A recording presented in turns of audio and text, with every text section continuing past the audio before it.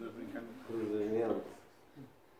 Allô, allô, mes amis. Nous sommes ici encore une autre fois pour falar équestre. Nous sommes ici avec le maître des maîtres, monsieur Felipe Figueiredo Graciosa, et avec sa femme, madame Isabelle Malha Figueiredo.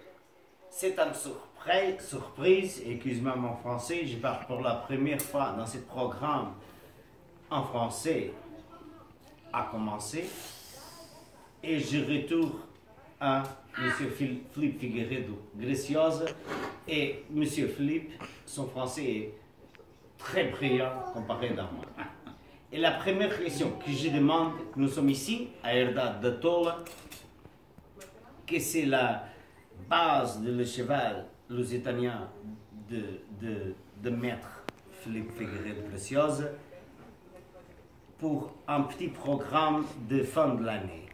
Et la première question que je demande à Monsieur Philippe, à Maître Philippe Figueiredo Graciosa, c'est c'est trop froid ici et le cheval, il ne, il ne, mord, ne, ne mord pas? Non, les chevaux n'ont pas peur du froid. Ils n'aiment pas le vent. Même avec la pluie, ils passent bien.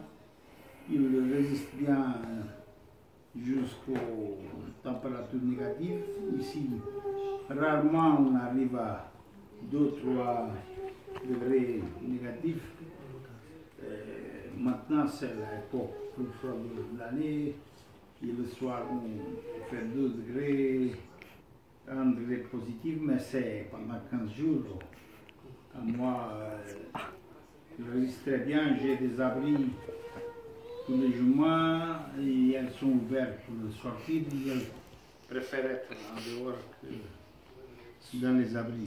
Il n'y a pas de problème par un cheval lusitanien d'aller à Russie ou d'aller à France ou Allemagne à cause de froid. Non, les, les températures froides en France et en Russie sont différentes d'ici parce qu'ils arrivent aux plusieurs degrés négatifs.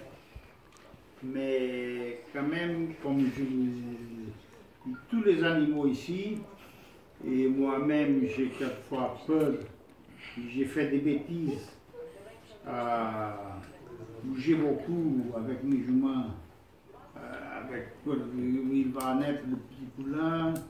Et ça, quelquefois, donne de- des problèmes.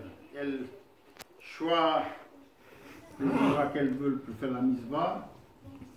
Et beaucoup de fois, c'est pas dans les abris, dans les. Ce ne sont pas des écuries, mais ce sont des, magasins qui sont à, l'habitude. Normalement, je vois que les, les chevaux, ils n'aiment pas beaucoup le vent. Ils se couchent comme s'ils étaient morts. On arrive, ils voient 4 ou 5 poulains. C'est normal de voir euh, euh, complètement couchés pour que le vent passe au-dessus. Mais c'est pas un problème. Comme vous avez vu, nous avons parlé un petit peu de cheval, mais que- qu'est-ce que je veux parler maintenant? C'est des programmes de fin d'année que nous allons faire avec les maîtres des maîtres, avec aussi un nombre de maîtres qui sont ici. Un des maîtres, c'est. Mademoiselle Elisabeth, qui est ici. Nous, nous avons aussi Monsieur Quintaz, une guitare de cueillir écuyer d'élection. et Monsieur Federico Saramago. Saramago. Excuse-moi mon français. Ah, agora, parando um bocado o travão de mão ao francês e vamos ao português, estamos aqui em casa do mestre dos mestres. Isto é um sítio de eleição.